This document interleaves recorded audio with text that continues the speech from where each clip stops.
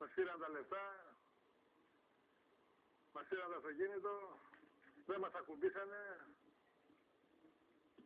τη γλιτώσαμε, είμαστε καλά και τίποτα περισσότερα. Αυτά είναι. Εί- Είχαν καλυμμένα τα πρόσωπά τους; Ναι. Είχαν.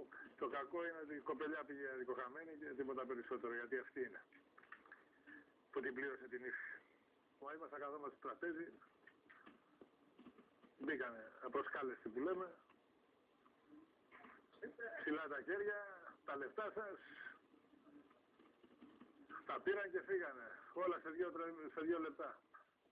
Από τον πελάτη τον άλλο του πήραν τη σύνταξη, από μένα μέχρι 400 ευρώ κάπου εκεί πρέπει να ήταν. Κάτι στην τσέπη που τους τα έδωσα μόνος μου και κάτι λίγα που βρήκαν στην ταμιακή μηχανή.